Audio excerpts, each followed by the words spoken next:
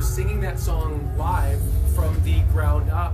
Uh, Brian and Christy in the morning on 1077 GNA because Dan and Shay is joining us right now. and on Facebook Live. So thanks to Dom's Pizza Subs and Wings with two locations in Latham and Stillwater. It's home of the 24 cut. Had to get on I that. can eat all 24 cuts. I'm was serious. beautiful. yeah. Pizza challenge. I swear I'll do it. Don't tell me. If it's on You the have bus, to fight me again for pizza, though. That's my thing. Oh, I'm getting 24. You can get 24. Everybody gets 24 at Dom's. Check it out. You Yeah. get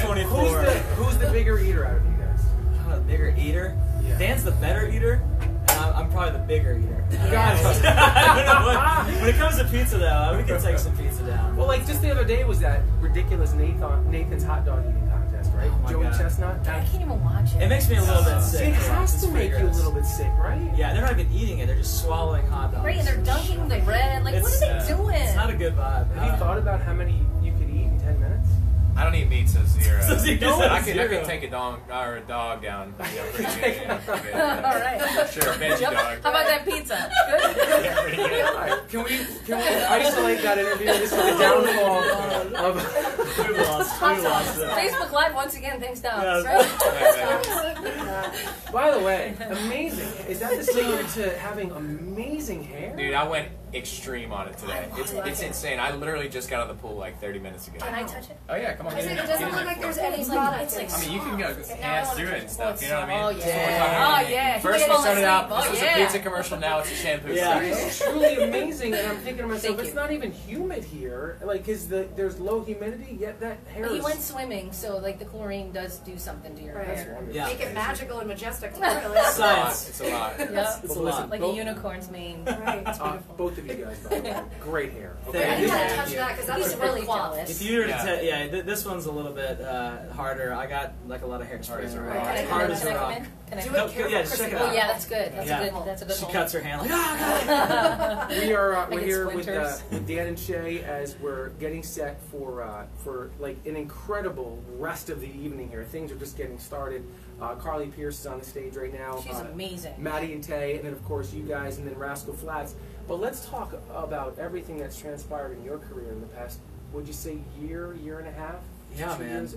This is off the charts. Thank you. First of all, thank you guys for always supporting us, man. It means a lot. And have yeah, the we just put out song a, in the country. It's crazy, man. To hear you say that out loud, it's it's amazing, man. The last year has been crazy for us, and Dan hasn't slept in about two years working on this this self-titled record we just put I out. haven't gotten a haircut either. That's the product of, uh, It's of a lot of hard work. But man, we're, we're so proud of this album, and it's been crazy, uh, you know, to see the fans' reaction and you know putting out new music. We haven't put out new music, like I said, in you know two years. So it's been a pretty incredible uh, journey, you know, to this point, and being able to finally have that out in the world. You know, it's like you work on it for so long, and then you know, it's after that, it's like all right.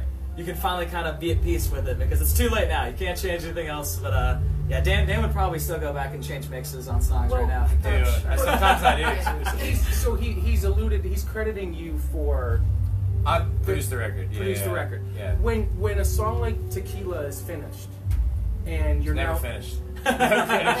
So he's still redoing No, it it's at the crazy, area of yeah. So this is an interesting point. So when you hear that song on the radio, that that's like that, that's a perfect song, perfect melody. The lyrics, the more you hear it, the more the lyrics sort of mean something to you. Like the song kind of Making grows us feel on good, you. dude. Come No, on. that's, Look that's us. the truth. What else does it make The more, I- it's not just a song that you hear and you like. It's a song that the more you hear it, the more you start to feel it, and that's when it becomes a smash, which it has right now.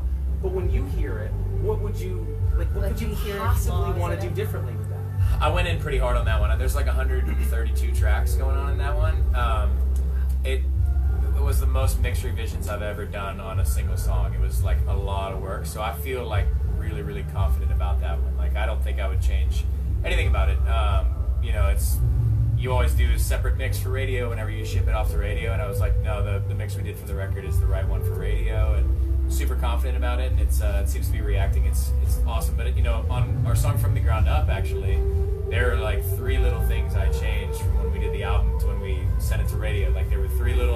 errors. Like I wouldn't call them errors. There were things that only a person as senile as me would, would notice, but it was just like little like noises of like the grand piano, like a foot slipping off of the pedal on the piano that I could hear in the stereo mics. I'm a weird guy. I got problems. Uh, but I changed three things on the mix. So there's like two different mixes that no one. I, I played it for my wife a bunch of times. She's like, you should check yourself into it. It's like, exactly well, I was gonna say, like, is you know, are you sleeping the whole time, Shay? Like, Oh, like, yeah, I've been like, what are sleeping you for the doing? last two years. Like, If I could sing like him, I'd be sleeping too, man. it's hilarious to watch That's awesome. because there will be like you know we'll have Dan and uh, Dan and this guy named Scott Hendricks. He he'll be in there and he kind of has crazy ears too. Like him and Dan will hear things that like no normal human would ever hear. Me and John Esposito, the president of our label, will be. There's actually a picture I think on our last record of us. Dan and, uh, and Scott are up there at the board listening to mixes and stuff, and they're with the mixing engineer and everybody, and Dan's doing like changes, and me and me and Espo are back there like, this sounds incredible. And they're like, it's not right. I was like, this sounds like, what are you talking about? It sounds so good. Do you ever work on a song for so long that you become sick of it and think there's no way that this thing can become a hit? you sort of lose perspective. Uh, you know, we worked so hard on this record, so many hours, I mean years, putting into this record, just writing the songs and doing the tracks, and you kind of lose perspective of it. I texted Shay uh, kind of recently, like when the when the album came out and fans were going nuts for it. I was like, I think we got something special here because you you know you're excited about the songs when you write them and you put the tracks down, but you work so hard on them, like editing every note, like lining up all the kick drums, all the you know idiosyncrasies of making a record, and then you're like, is this even good? Like, did I spend like three months of my life working on this? Is it even good? You're, and you hope it is. It's kind of one of the most nerve wracking moments when you drop that song like at midnight or whenever it comes out or whenever it premieres on the radio station. It's you kind of lose it a little. You're like, are people gonna like it? And then it's so validating when they do like it. And then you get to go on the road and you see fans singing the words back to you. That's like you kind of know you did something right. So it's uh, it's a cool feeling for us. It's a full circle moment. And to have a number one song on the radio is that's a dream come true. So thank you guys for making that happen. Every, yeah, you guys, everybody watching on Facebook Live, and all of you listening right now to us as we talk to Dan and Shay. A side note about tequila. Um, what about the remix, the EDM remix? Do you like it? Were you like, yeah, this is good? I, can I pick that thing now? apart for you? I live for it. Dude. you okay facilitated it. Okay, good. Yeah, I it's thought so, but I wasn't 100% sure. I thought maybe, you know, one of your friends came in and go, hey, man, I could put these beats behind it. And you're like, I've been working on that for a No. year. is the purpose of something like that is that just to just to give it a little uh, you know a little thump in some clubs to send to like pop mainstream radio like is that your way of thinking when Yeah, you do a remix the- to that No, it's just you know we've had fans that like fell in love with the original version, and we did the original version in a certain way for a certain reason. You know, we put the exact BPM of it, you know, the vocals, the key, everything was well thought out. You know, we was very intentional with something like that. It's like if we can reach a new audience, you know, for example, if you know there's a DJ playing before DJ Silver, our buddy DJ Silver, he goes out and tours with Jason Aldean,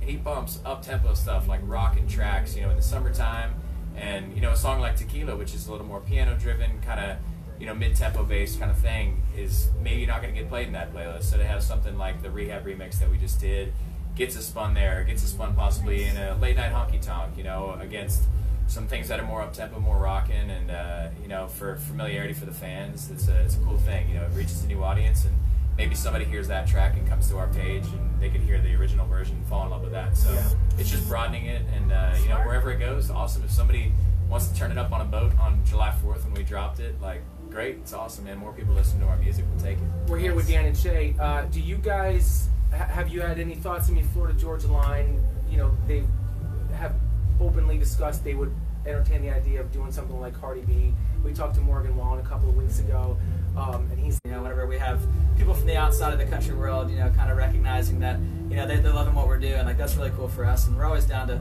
to make good music, you know, and we don't dis- discriminate on whatever genre it is. Like we, you know, we love all kinds of music. Yeah, So. and and you know, don't obsess too much. I mean, how can I say that? You you obsessed, and now you have the number one country song in Yeah, Thank right. America. Thank you, guys. Congratulations! Thank you for supporting us. Oh, without a doubt, it's beautiful. And we can't wait Can to I watch it cannot tonight. wait to see it tonight. Uh, I'm so it's excited. we, we did hear sort of behind the scenes that Rascal Flatts sort of has been very passive aggressive with you guys. Going, yeah, you know, we might let him Open uh, up a show or two. headline headline Yeah, for us. That's, headline probably, me. that's very passive aggressive. Because they know where you're at. So that's a no. That's all cool. That's awesome. We love those guys.